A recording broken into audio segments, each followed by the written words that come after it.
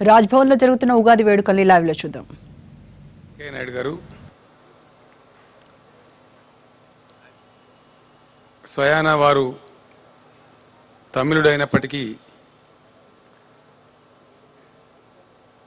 తెలుగు ప్రజలు నిర్వహించుకునేటువంటి ఈ ఉగాది పర్వదిన సందర్భంగా క్రమం తప్పకుండా ప్రముఖులందరినీ ఆహ్వానించి ఉగాది పర్వదిన సమ్మేళనాన్ని ఏర్పాటు చేసినటువంటి మన రాష్ట్ర గవర్నర్ గారు శ్రీ నరసింహన్ గారు సభలో ఆసీనులై ఉన్నటువంటి పెద్దలందరికీ పిలంబినామ సంవత్సర ఉగాది శుభాకాంక్ష. చాలా సంతోషం. ఎక్కడ ఉన్నామో అక్కడ ప్రజల యొక్క అస్తిత్వాన్ని వారి సంవత్సర పండగను ఇంత గౌరవంగా గొప్పగా ఆదరిస్తున్నటువంటి మన గవర్నర్ గారికి తెలుగు ప్రజలందరి పక్షాన నేను ధన్యవాదాలు తెలియజేస్తా ఉన్నాను. ఇది ఏదో ఒకసారి జరపడం కాకుండా క్రమం తప్పకుండా ప్రతి సంవత్సరం వారు నిష్ఠతో చాలా చక్కగా నిర్వహిస్తున్నారు వారికి మనపూర్వకమైనటువంటి అభినందనలు. కాలం జరుగుతూనే ఉంటుంది. కొంత మంచి వస్తుంటుంది కొంత చెడ్డ వస్తుంది. అన్నిటినీ సహిస్తూ అన్నిటినీ భరిస్తూ ఆనందాన్ని ఆస్వాదిస్తూ దుఃఖాన్ని దిగమింగుతూ ముందుకు సాగేదే జీవితం.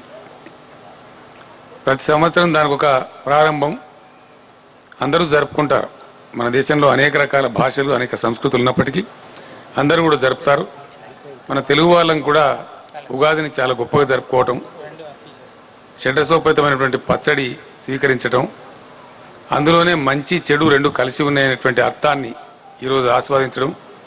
ఆ పులుపు కావచ్చు తీపి కావచ్చు వగరు కావచ్చు జీవితం అంతా కూడా ఇదే విధంగా ఉంటుందనేటువంటి సందేశాన్ని అందులో నుంచి అంతర్లీనంగా తీసుకోవటం.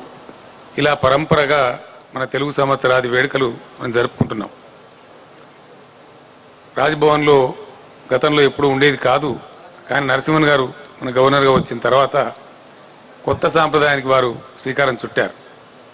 ప్రభుత్వం ఒక పక్క అధికారికంగా నిర్వహిస్తూ ఉంటుంది. కానీ రాజ్భవన్లో ఇటువంటి సత్సాంప్రదాయానికి శ్రీకారం చుట్టి మన పండుగను మన యొక్క గౌరవాన్ని ఇనుమడింపజేస్తున్నటువంటి గవర్నర్ గారికి మరొక్కసారి మనందరి పక్షాన give a big hand please. ధన్యవాదాలు తెలియజేస్తూ మరొక్కసారి ఈ విలంబినామ సంవత్సరంలో యావన్ మంది తెలుగు ప్రజలు యావన్ మంది అన్య సంస్కృతుల అన్య భాషల ప్రజలు కూడా సుఖంగా సంతోషంగా విలసిల్లాలని చెప్పి భగవంతుని మనసారా కోరుకుంటూ నేను విరమిస్తా ఉన్నాను